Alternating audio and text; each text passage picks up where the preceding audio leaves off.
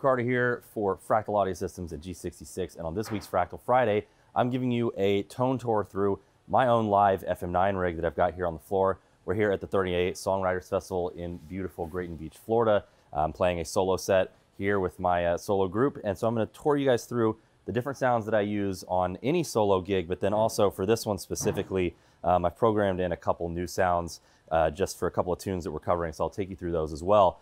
What I want to do though is start off by just showing you how I'm running the FM9 as far as the actual setup on the layouts on the floorboard. As much as I love getting into the details uh, and really tweaking sounds on the front end of a show, once I get into a live environment, I want to be concentrating on playing and I really want all of the gear to kind of get out of my way. Uh, I've got my Ernie Ball Music Man Cutlass here, uh, which is a great example of that because the Music Man guitars are just so well crafted. Uh, they really just get out of your way and let you play. And I've got the FM9 set up to really do the same thing. So let's take a look first off uh, at how I've got the layouts going, and then we'll tour through the sounds. I'll show you some effects. We'll do some playing. I hope you guys enjoy it. Again, in the vein of kind of keeping it simple, I like to use one preset for an entire show if I can, and then rely on scenes uh, to bring in different sounds. And really, I'm looking at just three core amplifier tones. I've got a super clean based on a Fender Bandmaster, which is the band commander, uh, and it sounds a little bit like this.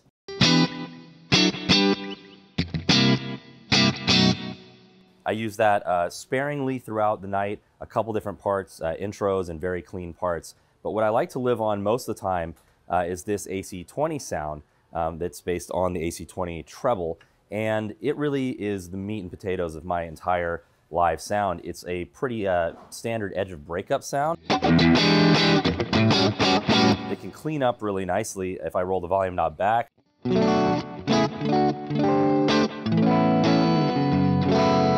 Then if I add any kind of pedals to it, it gets really dirty really quick. So scene three is just the AC20 uh, with a drive pedal on. It's a 808 with a little bit of delay.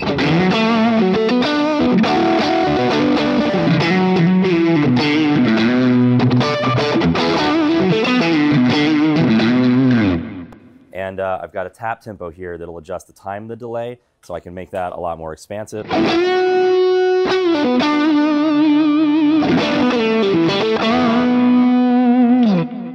Or it can be much more kind of a slapback thing.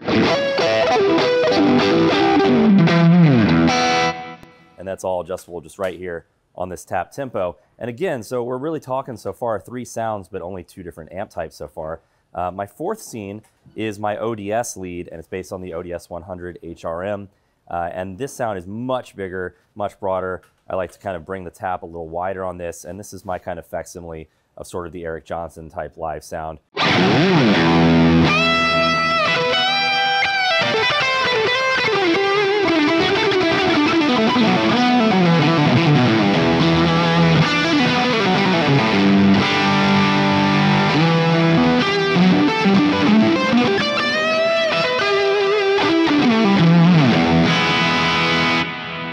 That's obviously just like a huge lead, um, and I use that again sort of for much more blatant lead type sounds. The, uh, the AC20 lead's a little more kind of standard blues rock.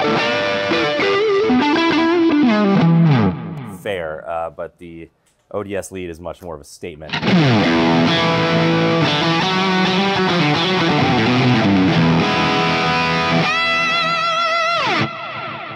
That's a, a delay, a multi-tap delay, uh, or multi-delay, and then a big reverb. And then my final main sound here is based, again, on the Bandmaster sound, um, and it's a big atmospheric, and I like to use it at the top of tunes.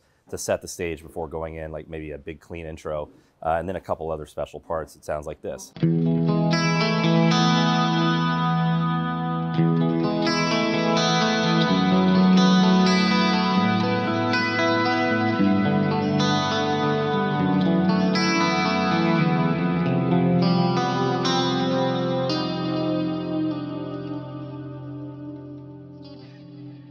Really just big, expansive, pretty clean.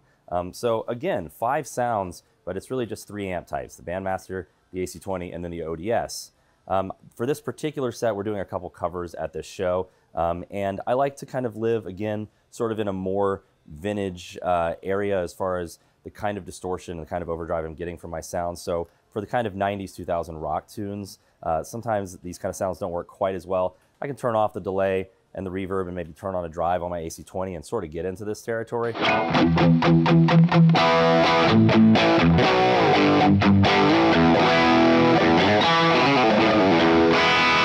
But if I want something a little bit tighter, uh, like I said, for a cover, I've just added a, uh, a, fourth amp type here for this show.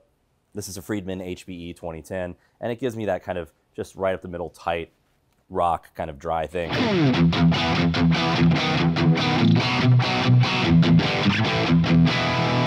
And then the final sound I've got here on my scenes layout is just that same dry rock uh, amp type, but I've added an 808 and a little bit of delay just for like a good old kind of, uh, you know, rock sound.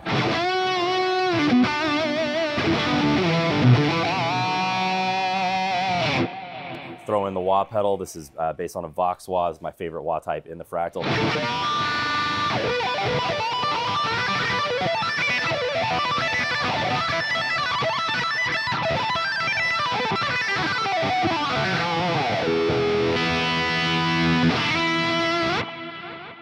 So really, again, for the vast majority of the night, um, you see I've got seven scenes here, but I'm really mostly using the AC20 and the AC20 lead scenes. Um, and the scene selections here really just help me avoid a lot of tap dancing. You know, going from here to here is really just turning on a drive and a delay, which brings me to my next page. So if I go to this AC20 sound and kick over to this effects page here, um, I have some instant access switches across the bottom. I've got drive one, I've got a switch to change between the four channels of this drive.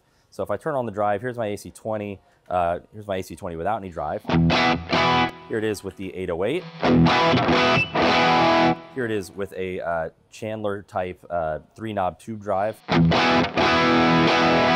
And then here we go over to a Jam Ray. And then one of my all-time favorites, the Bender Fuzz.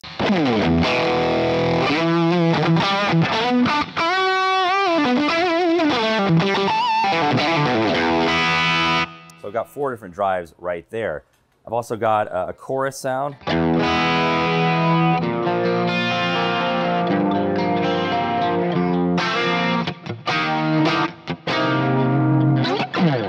of course I've got my delay and I've got a reverb that I pretty much keep on all the time, but every once in a while I want to turn it off and really dry things up but the reverb pretty much stays on most of the night. And that's just a little cathedral reverb, uh, really low mix, but it's there to just kind of tie everything together with a little bit of glue. The one fun trick that I do have in this preset uh, is the pitch block. And I've got two channels on that, so I can switch the channels by holding down this button.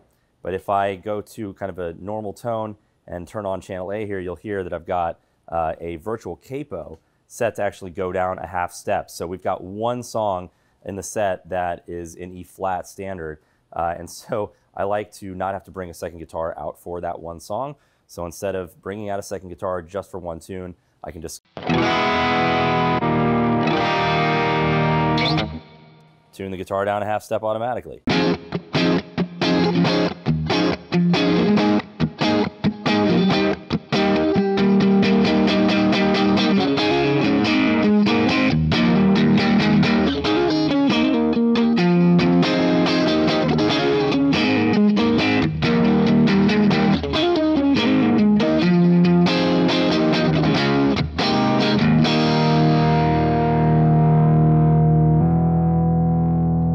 That's a really convenient way to uh, not have to bring out as much gear. And then also, uh, sometimes, like perfect example, this week I was pretty sick last week. My voice is not really where it needs to be uh, for me to feel completely confident. So I have run into shows where it's really helpful to just be like, okay, my voice isn't feeling it tonight. I'm gonna bring the whole set down a half step and just one button.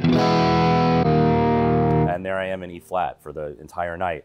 Also though, if I hold down the channel switch that I mentioned, uh, I can go to channel B and now I've got a 12 string type emulation for uh, one of the songs that we play. And I just want a little bit of that 12 string effect. And again, don't necessarily want to bring a 12 string out.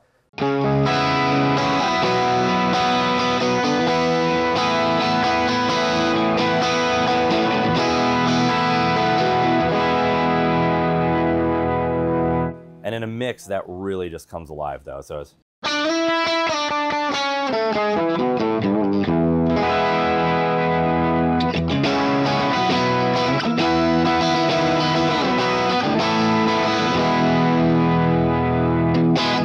Instant access 12 string guitar uh, without having to bring out a 12 string. So that's kind of my pitch toolbox. I've got my virtual capo and then the 12 string emulation. Uh, next up on the effects, I just have this big uh, multi-delay here, and it's really what comes in uh, for the ODS lead for that big expansive Eric Johnson live at Austin City Limits and the 90s kind of thing. Um, and then also brings in obviously a really atmospheric sound when you're running cleaner. So it's the Aurora type multi-delay, uh, and I do have two channels of that. One, uh, they're both the same delay, but one of the channels has just the, uh, the level of that parallel delay a good bit higher for the atmospheric. And then finally, I switched to a third page, and these are a little bit buried. I generally try not to go this deep into the menus. Um, and to be honest, I would probably, um, if I were running this kind of every night, have an FC6 out to the right and have these effects on the FC6 all the time so that I had instant access to them without switching around. But for this gig, um, we're playing songs that these last couple effects come in so sparingly on that it's really not a big deal for me to just click to this next page here. I go to more effects and I've got a tremolo panner, a flanger, and a rotary here. Uh, and I'll play you through those sounds real quick. The tremolo panner, again, I use on one tune, so I can just kind of turn it on.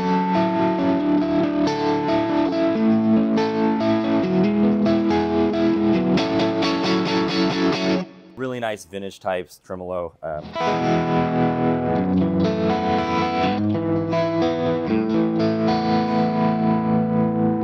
sounds great on the AC20. Uh, next up, I've got the flanger, and that, again, uh, really just a special effect that comes on in one part of one tune. Uh, so I'll go ahead and play that and then kick the flanger on. This is really, uh, I'm in love with this flanger sound. It's kind of a shame that I really only use it on about one measure every set, but.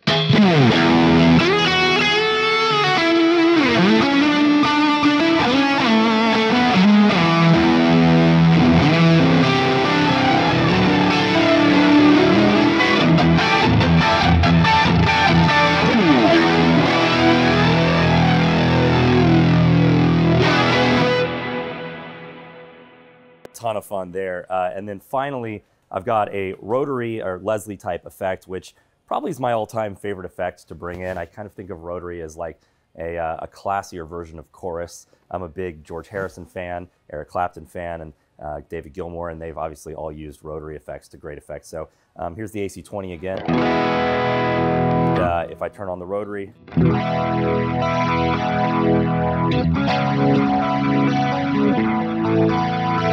But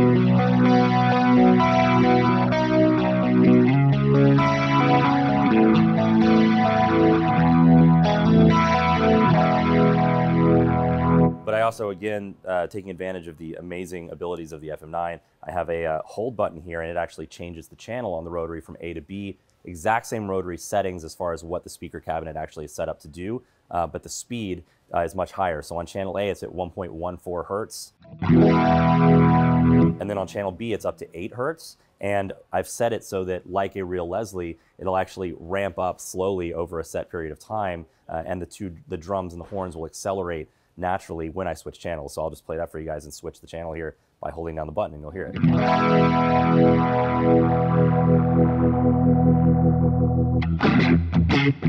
it.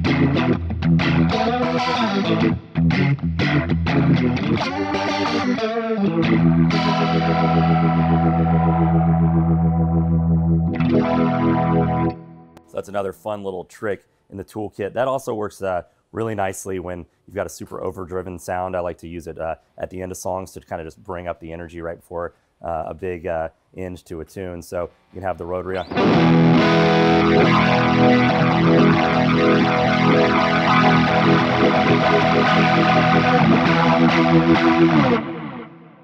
Great way to end a set, maybe just kind of, all right, thank you so much, good night. The rotary spins up, a really fun sound.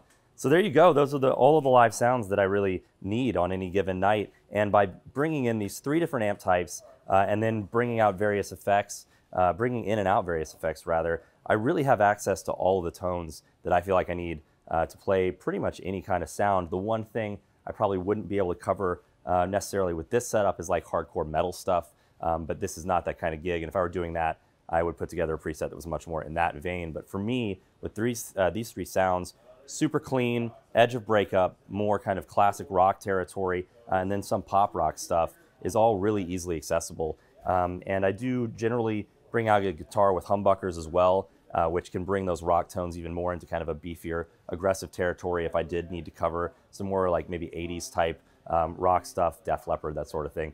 But for my own tunes, this preset really gets it all done. And then again, all I've done for this gig where we are, uh, where we are doing a couple of rock covers is just bring in a fourth amp channel on that same amp block. And I've got more of a kind of straight up modern, tight, aggressive rock sound. So one preset, a ton of different sounds. The FM9, uh, in my opinion, is really the sweet spot in the Fractal lineup. Obviously, Axe-Fx 3 flagship model, a uh, little bit bigger to take out because you've got it in the rack, you've got to bring a foot controller. The FM9 does everything that I wanted to do for this set and more, uh, and I really just love using this unit. So I hope you guys enjoyed this little run through my tones uh, and my very compact live rig here, and I will see you guys very soon on the next Fractal Friday.